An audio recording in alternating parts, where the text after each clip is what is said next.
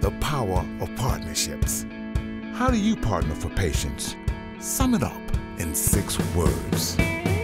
We are the EVS team of CPMC at the Pacific campus, and our six words of partnership are we care for patients like family.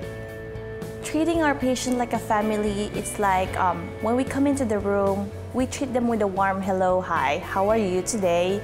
You know, and the family, same thing as the family as they're seated next to them. Treating them like an aunt or mother, so you give the best of what you can have.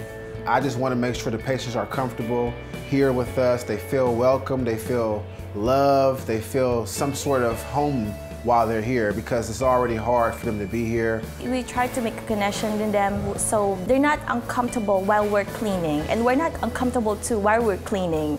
It's like a mutual understanding. the patients are waiting for you just to get the fresh uh, linens. So that's uplifting when you arrive, see them, say good morning to you.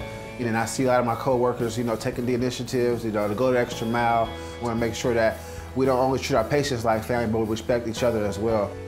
We care for patients like family.